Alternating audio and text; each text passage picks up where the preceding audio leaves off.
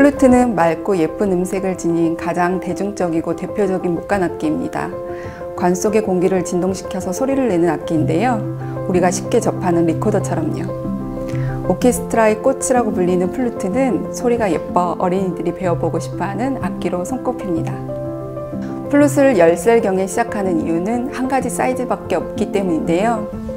바이올린이나 첼로처럼 신체에 맞게 사이즈가 나오지 않기 때문에 팔과 손가락이 짧은 어린이들은 키를 바르게 잡기 힘든데요.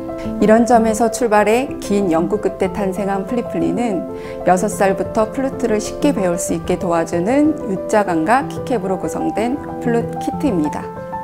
플룻의 U자관은 소리를 쉽게 나게 도와주고 키캡은 손가락을 편하게 누를 수 있도록 해줍니다. 플룻 레슨 초기 어린이들이 제일 힘들어하는 부분인데요. 이렇게 플리플리는 플룻을 어렵지 않고 재밌게 배울 수 있도록 도와줍니다.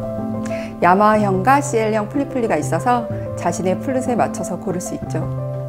키캡은 본체와 같은 실버 컬러와 로즈 핑크, 스카이 블루 등 다양한 컬러가 있습니다. 예뻐서 저도 가지고 싶을 정도예요. 플루트의 윗관을 U자관으로 교체하고 솔과 라키에 키캡을 끼우면 됩니다. 간단하죠. 이렇게 간단히 장착하고 아이가 자라면 탈착해 기존 윗관으로 계속 사용할 수 있어 효율적이고 경제적입니다. 그래서 부모님들에게 추천해 드리고 싶습니다.